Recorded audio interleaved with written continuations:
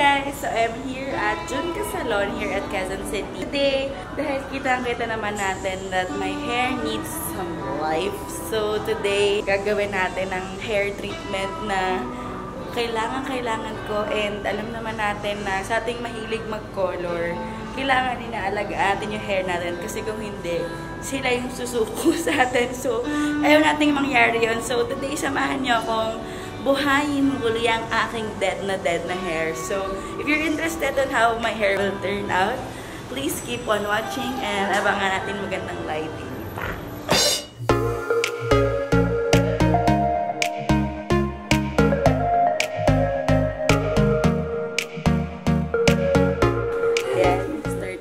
Yung ating hair treatment. Yay! Sobrang bait ng mga ano dito, staff. So, oh my God, I'm so excited!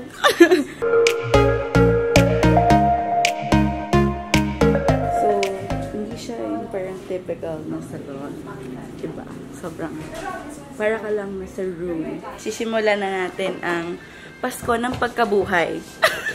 aking hair.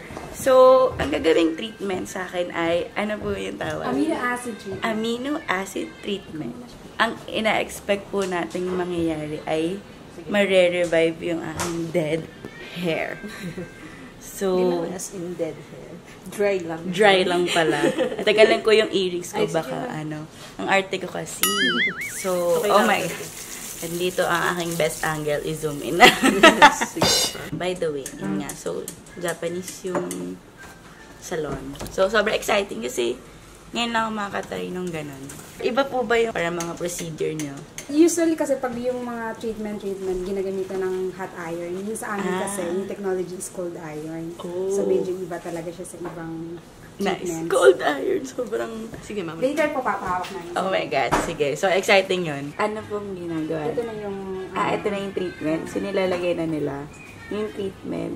Nakikita nila yung mga chismis ng hair ko. Dandruff and the breakage on my bangs. So, ayan. I-stay lang muna nila yung treatment for 10 minutes. So, ito na yung... Eh, yun cold, po yung cold parang- iron. Ah, okay. So, yan yung cold iron. Ironic pakinggan kasi cold tapos iron. Tapos plancha din. Mukha siyang plancha talaga. Pero, hindi siya katulad ng plancha na iniisip natin palagi. Ano, na hindi siya straightening pero smoothening. Tama. Yun, smoothening. So, malamig talaga siya. Sobrang amazing. Sometimes nagpiprease siya. Nagpiprease siya sometimes. Ah, nagbe-freeze. Oo, thumbnail. Humawak ako ng plancha. Pak! Ah! Siyempre, na-instill na sa akin na ano, di ba? Pag ganun itsura, mapapasok ka. Kaya nung una hesitant ako. So, i-smooth na niya yung hair ko. Ayan. Yun. Di ba? Ang galing para talagang ano. Pero walang Actually, heat. Same with the face, di ba? Sabi nila, after Ah. ah. sabunin, dapat cold yung yung pang-wash mo para ma-close yung pores. Oo. Yung sa hair naman, para pumasok yung treatment and then ma-close mo yung cuticle ng hair. Nice, nice. Pero Oo. one day ka hindi mag-wash ng hair. Ganon din kasi sa makeup. Ia-ice mo yung face mo nga para mag-close yung pores. Kasi di ba kahit sa pagkatas mo mag-facial, ganon din yun. Yung heat pang open ng pores, i-mask nila. yun. Instead So, of first naman yung sa hair, cuticle. naman. cuticles. Ba nga? Ako, lagi lang nag-focus sa beauty, ng, sa face lang, ganun. Pero napapabayaan ko talaga yung hair ko. And isa sa pinaka-importante dapat, alagaan ng hair. I'm so sorry, hair. Ngayon lang kita na pagtuunan ng panahon.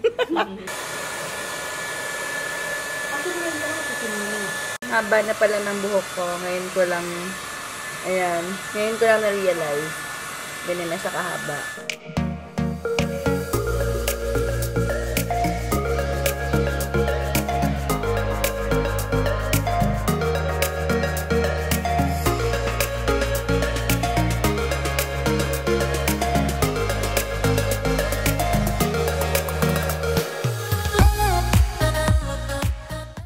Yeah. so, yan na guys. Sobrang glorious na ng hair ko. And ang lambot-lambot na niya. Hindi katulad nung, nung last, pag nung di ako nag-treat. Sobrang isang ganun mo lang na yung buhok ko. Parang ano, parang nabuho ko nung high school. Pero yan, syempre, um, may mga ano pa siya, aftercare. Parang facial lang yan. Kailangan, meron kang gamot after mo magpa-facial. So, yan. Meron ako nito, parang home care kit na once a week ko siya gagawin. And kasama na siya sa treatment kapag in-avail nyo siya. And then, parang dahil nga medyo malala na yung hair situation, um, they recommend na magbalik pa ako for like every parang once a month hang, para totally ma-renew yung hair. Sana nakatulong tong experience na to para sa inyong mga naghahanap ng hair treatment. So that was my Junka salon and the amino acid treatment experience. And sobrang thankful ako sa Junka salon for letting me having the treatment of my life. And Um, nga pala guys, Junka Salon will be participating at Phil Beauty Expo. Phil Beauty Expo is ang trade show ng lahat ng beauty and um, cosmetics, skincare, anything that involves the beauty industry. Isa siyang expo na gaganap sa SMX. It will be happening on May 31 until June 2, 2017. So, bukod sa Junka Salon, meron pang ibang brands na magpa-participate and they are very generous to give us some stuff para ma-experience natin ang brands na magpa-participate beforehand. Meron tayo Ion Slim Leggings. Sobrang excited ako kasi hindi ko ma-imagine kung paano siya makakapagpapayat ng legs. So nga yung Ion Slim Leggings, pag, ina, pag pinaniktad mo siya, nakikita mo yung parang mga stuff na to. Eh, parang siya mga maliliit na rubber, yung parang gano'n. Pero I have yet to try kung ano talaga yung feeling kapag suot siya buong araw. Next ay ang Diamond Skin. Ay, eto Diamond Skin. Mga ano sila, parang drinking supplements na pang beauty. Hindi ko pa siya natatry and and I have never tried mga beauty supplements na iniinom. Nakakita ko lang yung mga juice na yung nabibili sa mga ano,